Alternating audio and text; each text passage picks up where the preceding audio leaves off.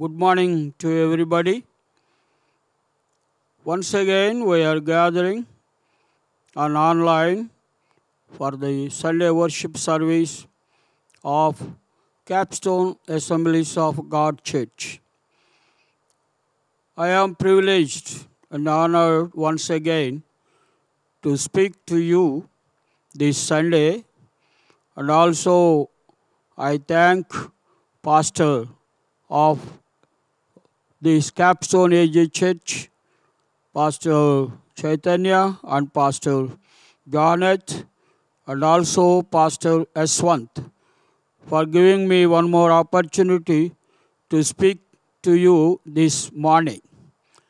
Once again, I thank you, everybody, those who join online to worship our Lord and Savior Jesus Christ. I greet you all in the name of our Lord and Savior Jesus Christ. This morning, I would like to share the Word of God uh, from Luke 9th chapter, 22nd and 23rd verses. 22nd and 23rd verses. I will read for you. And he strictly warned and commanded them not to tell this to no, no one, saying, The Son of Man must suffer many things and be rejected to the elders and chief priests and scribes and be killed and be raised from the, uh, uh, be raised the third day.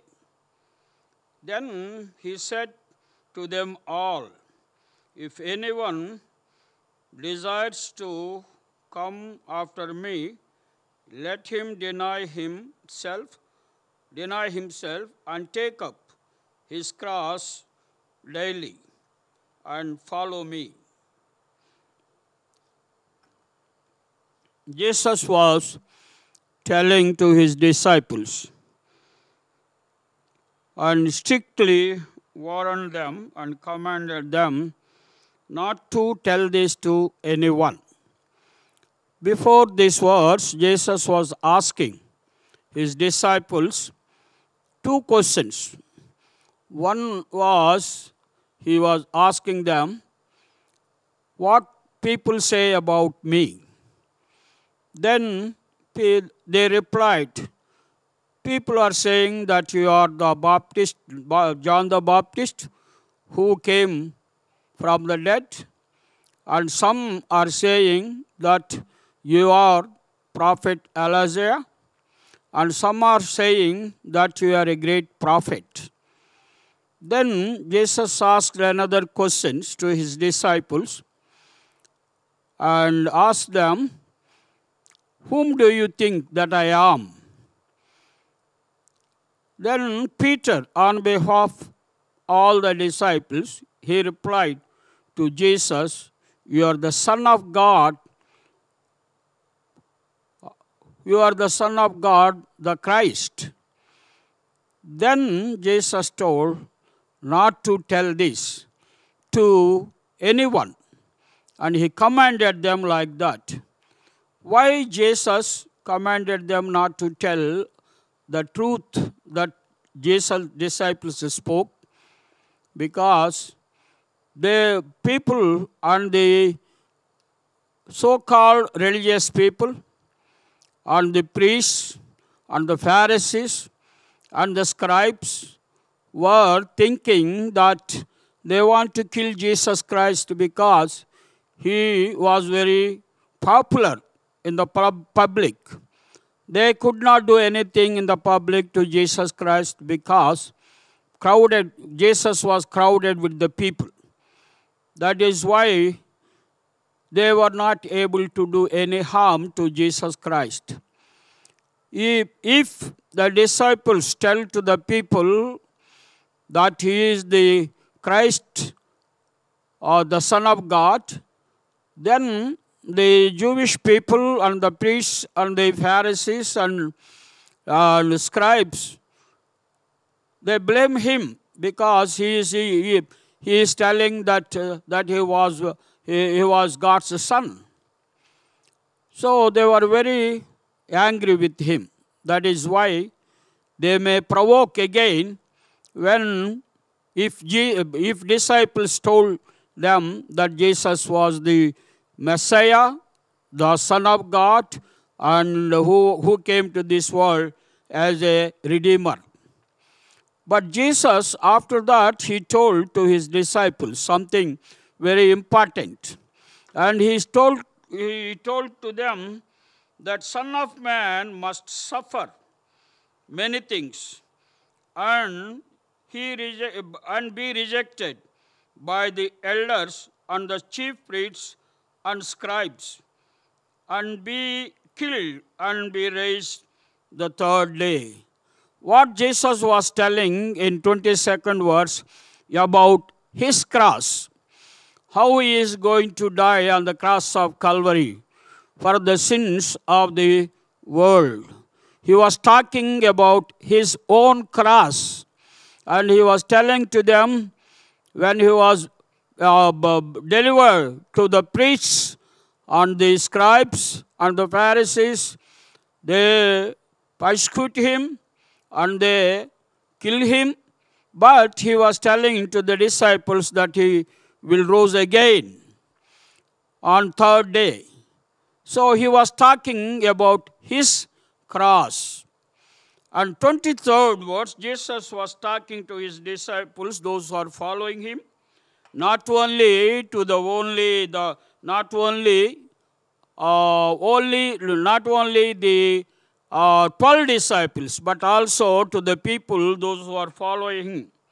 In some other translation, he was addressing the crowd, those who are following him.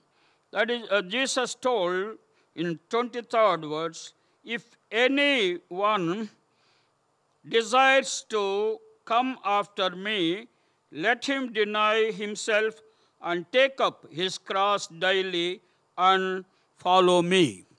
Jesus was telling to the crowd, those who are following him, including his disciples, if anyone, if anyone desires to come after him, let him deny himself and take up his cross daily. Jesus in 23rd verse was, was speaking about our cross. Or the cross the cross the, the, the cross that uh, the people should carry who, who are willing to follow him who are willing to follow him. So jesus was talking in these two verses.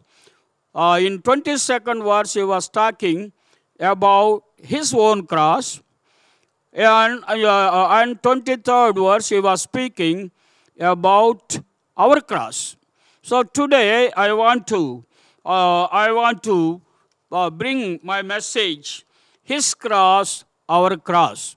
His cross, our cross. Jesus was telling to the disciples and also the people, those who are following him, and if anyone wants, if, if anyone want to, uh, if anyone wants to follow him, he should carry his own cross daily. Not one time, but daily. So I would like to share with you first about the cross of Jesus Christ. If we understood what cross meant for Jesus, we will know about our cross also. So let us talk about the cross Jesus carried. Jesus was Jesus carried on behalf of us we, we are here, the, when we hear the word cross is a symbol of Christianity. Whole world know that Jesus died on the cross of Calvary. So cross became a symbol of Christianity because died, Jesus died on the cross of Calvary uh, for the sins of the whole world. And those who accepted Jesus Christ they experienced the salvation in their own lives. So Jesus was telling here that you need to carry your own cross. Cross for, for, uh, for Jesus are the people, those who crucified him on the cross. They think that the cross is a curse for the uh, cross is curse, curse for the uh, Jewish people. Cross is a foolishness to the Greeks. Cross is an abomination to the Romans. But cross is a hope of salvation to the world because Jesus died on the cross of Calvary for the sins of the whole world. That is why Jesus, uh, the cross became the symbol of the salvation of the whole world.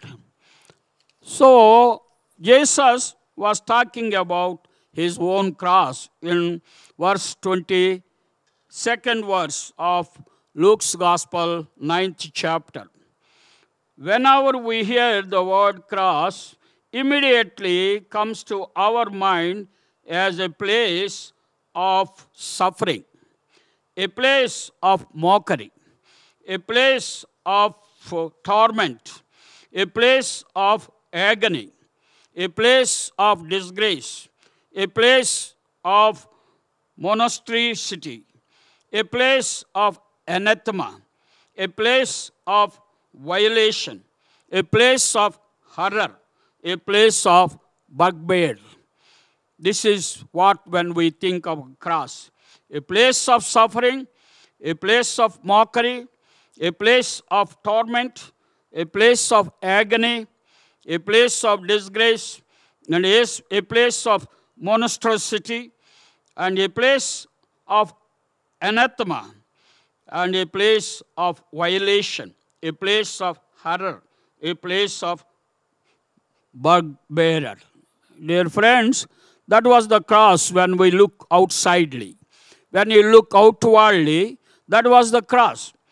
Jesus, when he looked at the cross, he thought that how can he bear the cross?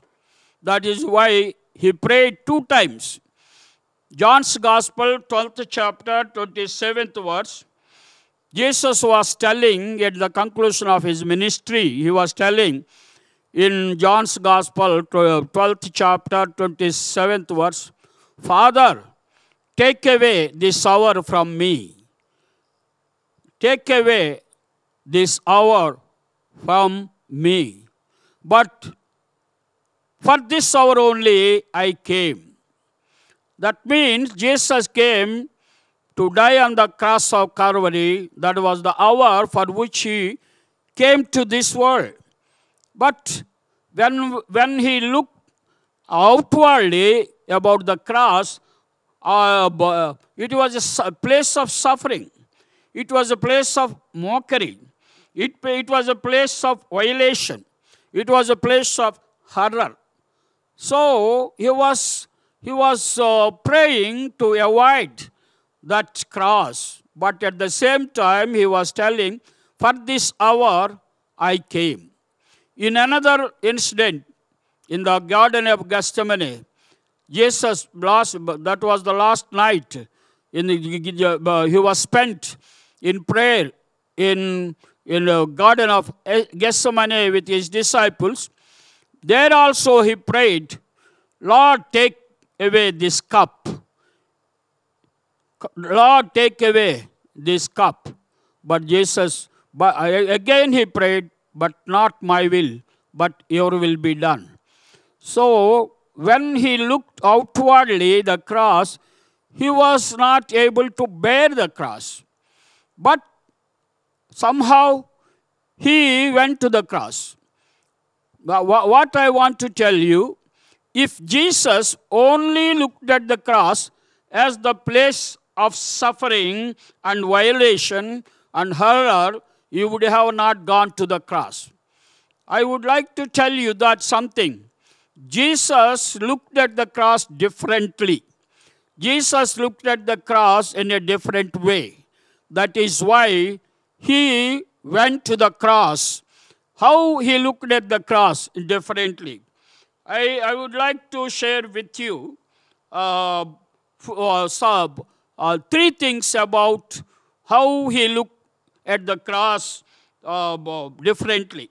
First, the cross is a place where he fulfills the will of the Father. The cross is a place where he fulfills the will of the Father. From the beginning of his life and ministry, Jesus looked forward for this hour. Jesus, Jesus looked forward to this event. Jesus looked forward to this uh, uh, event.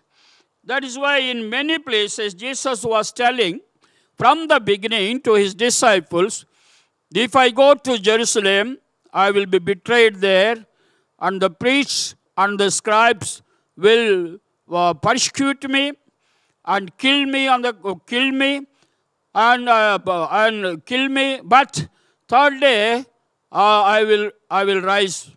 That is what Jesus was telling from the beginning of his ministry to his disciples. So Jesus was aware what he was going to do, how he was going to suffer on the cross of Calvary for the sins of the whole world. That is why Jesus looked at the cross not only a place of suffering, a place of horror, a place of violation, but he saw the cross as the place where he is fulfilling the will of his Father. Jesus once he told to his disciples in John's Gospel, 4th chapter, uh, 34th verse, he was telling to his disciples in that words, I came to do the will of the Father and finish it. I came to the will of the Father and to complete it. This is my food. Jesus was telling he came to the fulfill the will of the Father and to complete it. He was telling to his disciples. That is why Jesus looked at the cross, looked at the cross, a place where he fulfills the Father's will.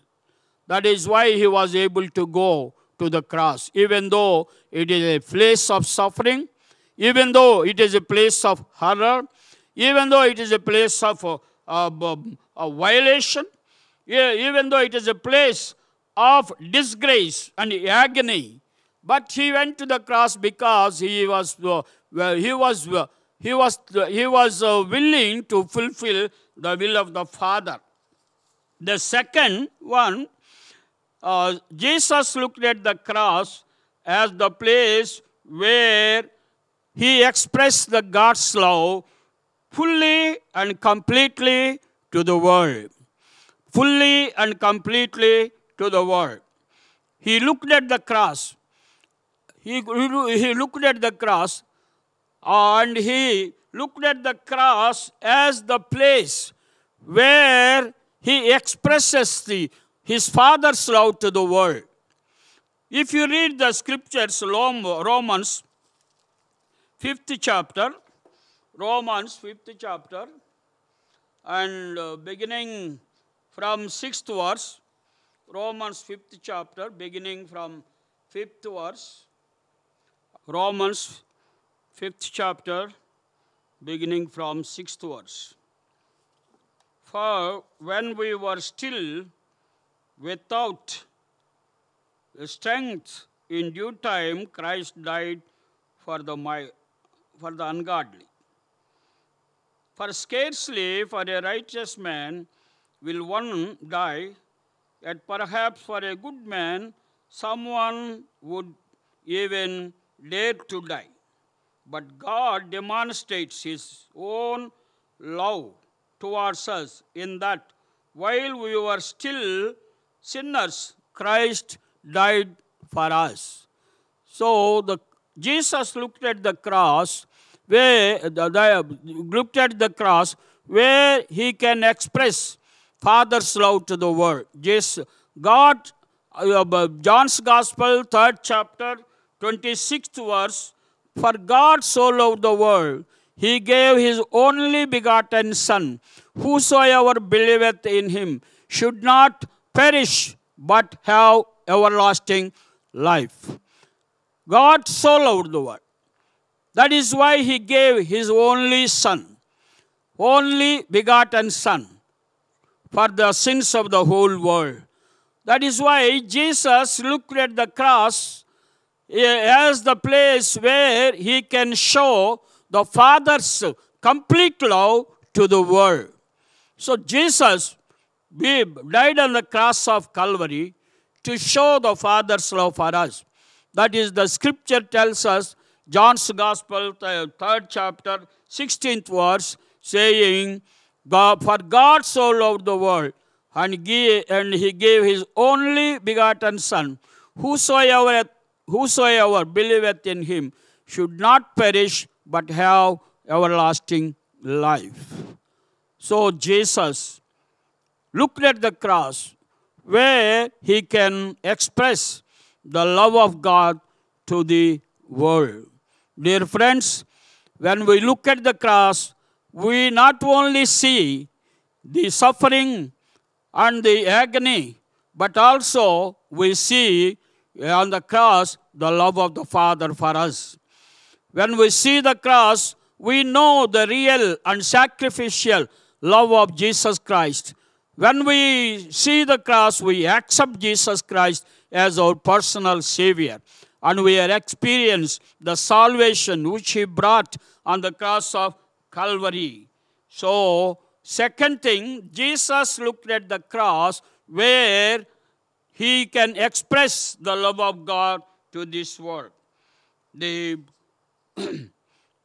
so God loved us not only God loved us not only when He gave His only begotten Son, but also God loved us when He created the whole universe.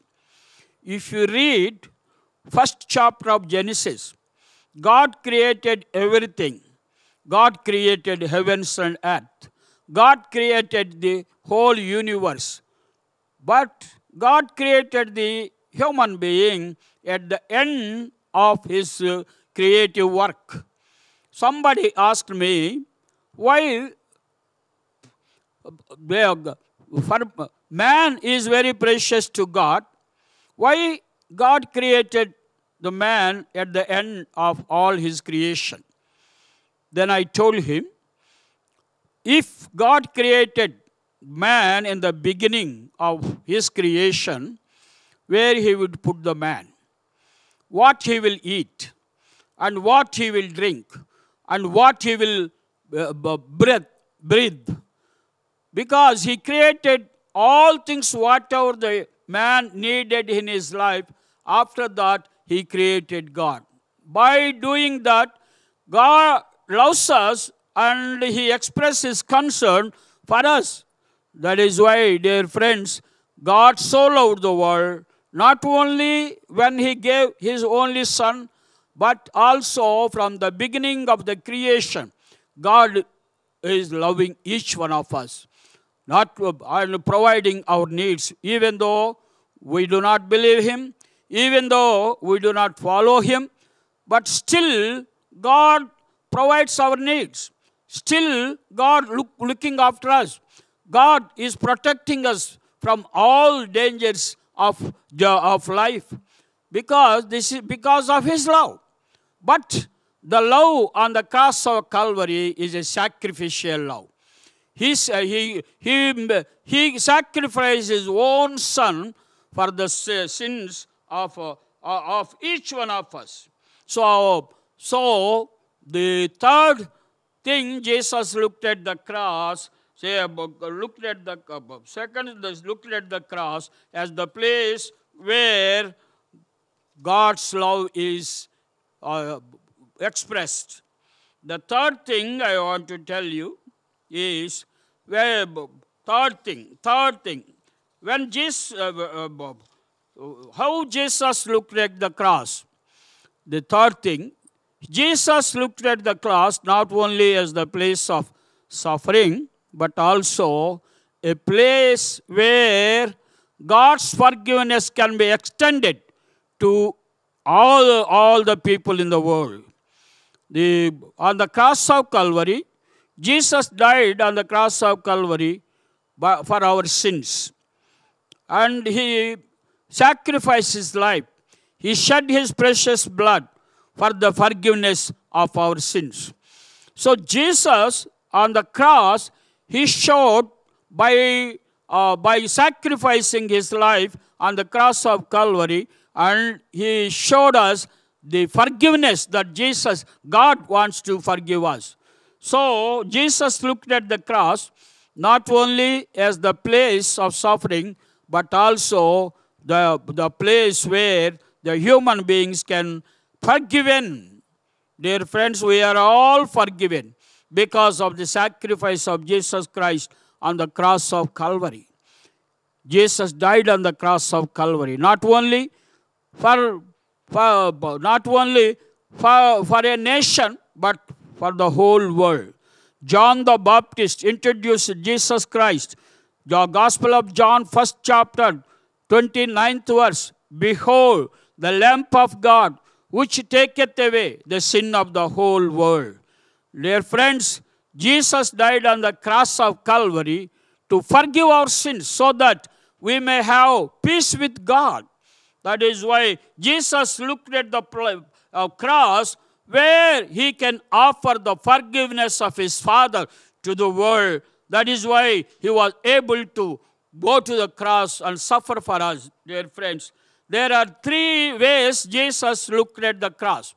First way, he looked at the cross where uh, he looked at the cross, the place where he fulfills the will of God.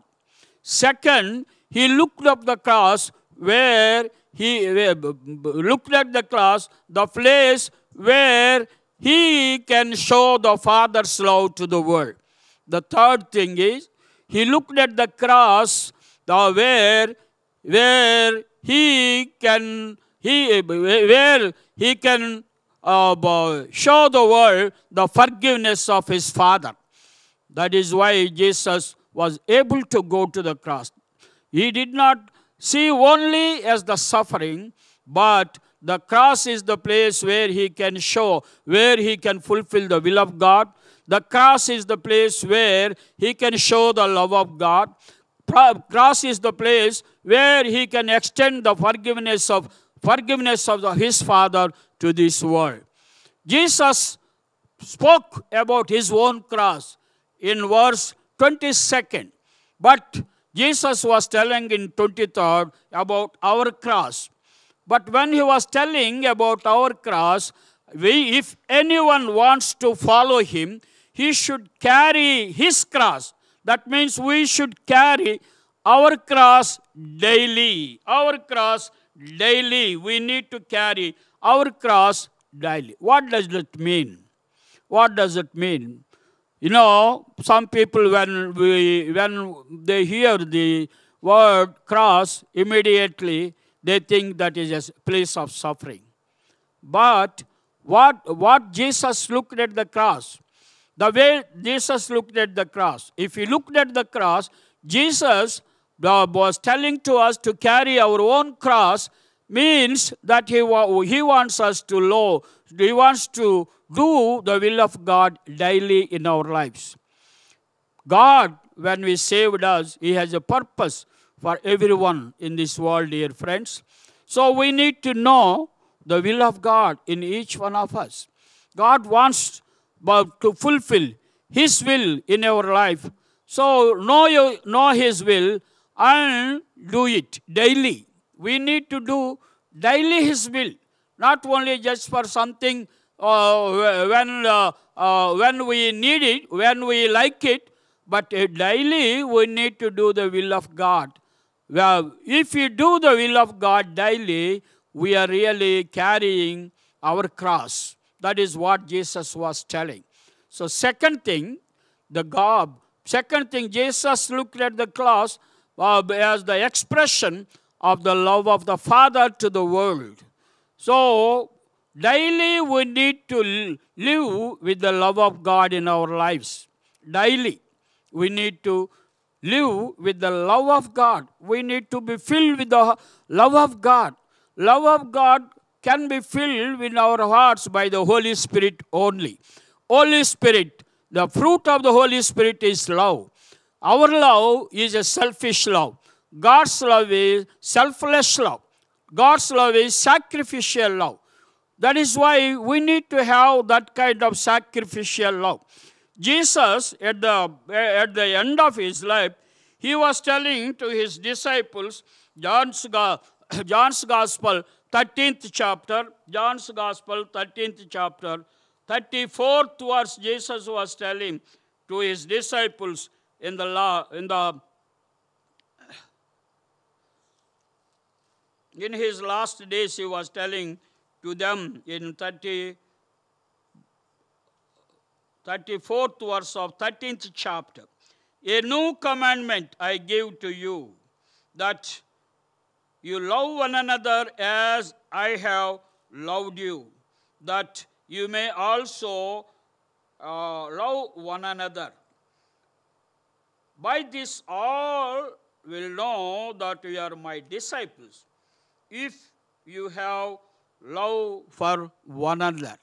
Jesus was telling, I am giving you a new commandment.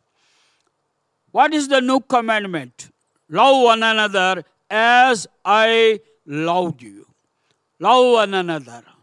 So, carrying our own cross daily means carrying the love of God in our lives daily, showing that love to the people. Now, yes, Jesus loved us.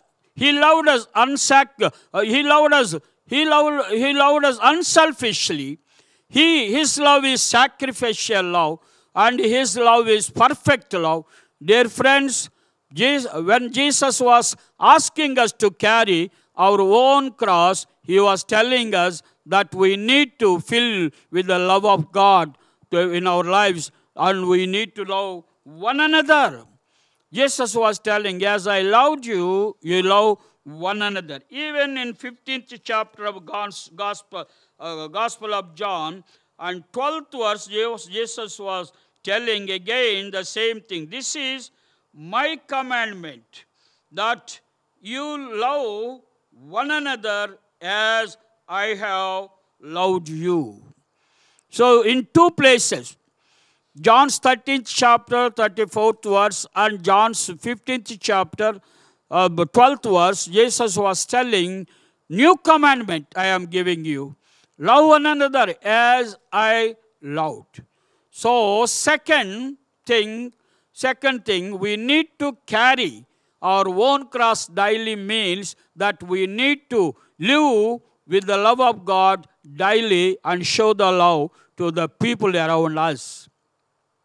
The third thing is, third, carrying our own cross daily means that we need to forgive people. Jesus forgave on the cross of Calvary. And he was telling on the cross of Calvary, Father, they do not know what they are doing. Forgive them. Not only to the people, those who are standing at the cross at that time, but he also forgiving us by saying that one. We also doing things that we do not know what they are. But Jesus was telling they do not know what they are doing. Forgive them. So God forgave us. And we need to forgive our people. We need to forgive one another. Scripture tells us very clearly we need to forgive with all our heart. Matthew 18th chapter 35th verse. Matthew 18th chapter 35th verse. Matthew 18th chapter 35th verse. So my heavenly Father also do to you if each of you from his heart does not forgive his brother his trespasses. That means he was telling, if you do not forgive the trespasses, or you do not, if you do not forgive your own brother or your neighbor, God will not forgive our, our, our, our, uh, sins or our faults or our trespasses, dear friends, with wholeheartedly, we need to forgive each other.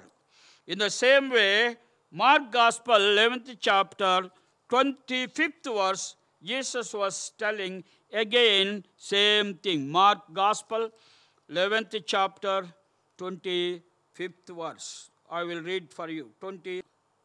And whenever you stand praying, if you have anything against anyone, forgive him, that your Father in heaven may also forgive you uh, your, your trespasses. So, whenever you are standing in prayer, if you come to know that you have a uh, some uh, some brother having a grudge against you, forgive him. Yes, yes, you will be forgiven. Dear friends, Jesus was commanding us. He forgave us, and He is commanding us to forgive each other. So sometimes we think that only Jesus could do that one because he is the Son of God, because he was a divine. That is why he could forgive anybody. He, that, that is why he, he could forgive even though uh, even the people, those who persecute, him. But I am human being. I am not able to do it.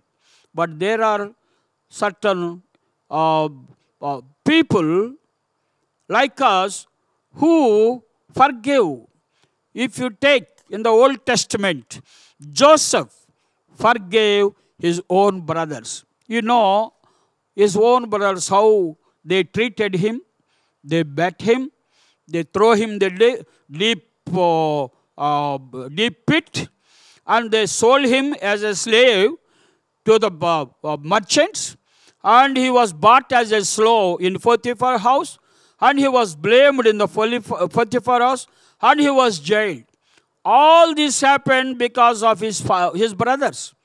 When at the end of that uh, uh, events, when Joseph became the prince of the Egypt, and they came for the uh, food, uh, for the grain, he forgave them. With all his heart, he forgave them. And he was telling uh, his brothers were afraid to approach him.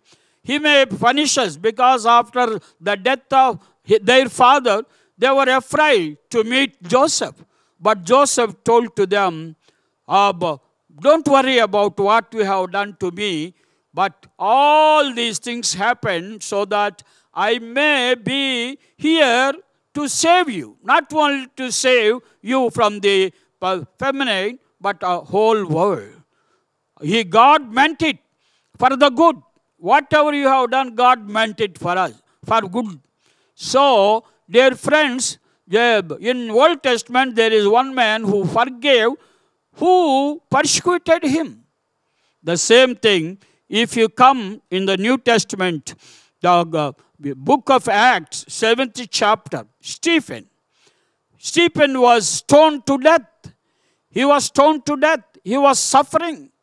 But he was telling to the Father, Father, forgive them. They do not know what they are doing. There are two human beings, they were able to forgive. They oh, forgive the people, those who hurt them. Dear friends, we need to forgive. We need to forgive not only by, uh, not only for, for, the sake of forgiving, we need to forgive wholeheartedly. Wholeheartedly. We need to forgive as Jesus forgave us. He forgave us. Dear friends, our cross. Jesus told about his cross in verse 22nd of Gospel, ninth chapter of Gospel of Luke. And the say, on the same Gospel, in 23rd, he was talking about our own cross. We need to carry our own cross daily. Jesus was telling, if anyone wants to follow him, he should carry his own cross daily. We, we know now what what it meant to carry our own cross. One first thing is we need to do the will of God daily. We need to fill with the love of God and show the love of God to our neighbors, to our people. Third thing, we need to forgive as God forgave us. Dear friends, let that let the Holy Spirit may work in our hearts to do the will of God daily. Let the Holy Spirit pour out the hope, pour out the God's love in our heart so that we may love our people, our neighbors, our enemies also. So, dear friends, let us ask the Holy Spirit, give the ability to forgive people, those who did harm to us, those who did uh, um, hurt us. Dear friends, these three are very, very important in a Christian life.